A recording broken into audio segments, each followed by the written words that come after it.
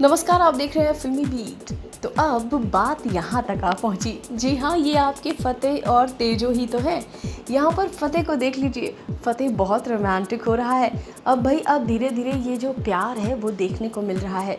यहाँ पर देखिए, तेजो जो है, वो बहुत ही चिल करती नज़र आ रही है। हाथ में मैगी और अपनी कोई फेवरेट बुक पढ़ रही है। साथ में एक अच्छा सा म्यूज़िक चल रहा है और बहुत इन्जॉय कर रही है। अपने ये ख़ास पल को इन्जॉय कर रही है। शांत होकर अकेले अपना मी टाइम इन्जॉय कर रही है। लेकिन यहाँ पर देख लीजिए, फतेह तो तेजो के बिना कहीं रह ही नहीं सकता और अब तो पूरी तरीके से तेजो की आदत भी पड़ चुकी है फतेह की। तभी तो देखिए ना, यहाँ पर फतेह ढूंढते ढूंढते पहुँच गया तेजो के पास और फिर देखिए ये क्या कर रहा है वो।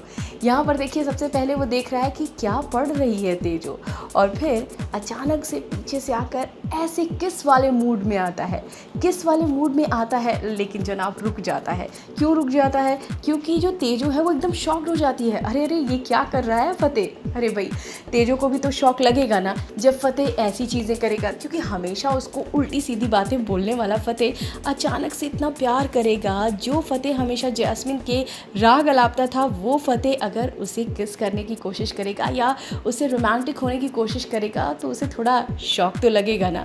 यहाँ पर भी थोड़ा सा तेजो को शौक लगा। बहुत ही प्यारा सा मोमेंट है जो कि आपको उड़ारिया में देखने को मिलने वाला है। आप देख सकते हैं, यहाँ पर बहुत ही मस्ती के मूड में नज़र आ रहा है फ़तेह तो वहीं पर बहुत ही चिल अंदाज में नज़र आ रही है तेजो। वही तेजो और फ़तेह की तो केमिस्ट्री डे बाई डे बढ़ती ही जा रही है। बहुत सारी चीज़ें आप सब देख रहे हैं, बहुत ज़्यादा केयर एक दूसरे के लिए। वैसे तो तेजो हमेशा से ही फ़तेह की केयर करती है, लेकिन जो फ़तेह है, वो अब तेजो के करीब जा रहा है। फ़िलहाल इस वीडियो में बस इतना ही।